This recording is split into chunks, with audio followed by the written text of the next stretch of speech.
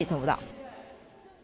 同样是科技消息，带你来看的是美国电商龙头亚马逊，他们陆陆续续推出了线上串流影音还有串流音乐服务。不过十八号的时候呢，在西雅图由创办人贝佐斯亲自上阵，他发表了第一支自有品牌的智慧手机，叫做 Fire Phone，用独特的三 D 影像抢尽了所有目光。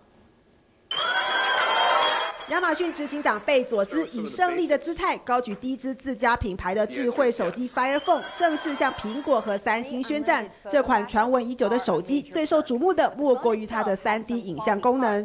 We call this dynamic perspective.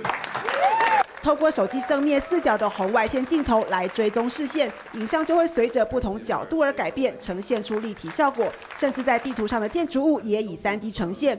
它另一个亮点则是 Firefly 辨识搜寻功能。Firefly, which can recognize a hundred million different items. If you point the camera at a package of soap, well, you can get a link to buy that soap on Amazon.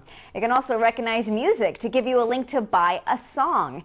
Fire Phone 采用了四点七寸荧幕，配备一千三百万画素相机。而贝佐斯在发表会中特别强调，它是为 Amazon Prime 用户打造的智慧手机，因此各项功能也和自家平台提供的服务高度整合，包含影音串流、购物、云端储存空间等等。而亚马逊为了吸客，更寄出了买手机附赠一年 Prime 会员的优惠。售价方面三十二 G 的机种绑约价只要约台币六千元。They don't care about making money on the hardware. They just want you to sign up for Prime and use all of their services to listen to your music, get your videos, and buy all of your stuff. 亚马逊经过长时间的研发，终于推出自有品牌的手机。十八号在纳斯达克股价应声上涨了百分之二点七，以三百三十四点三八美元作收，创下六月十一号以来的新高。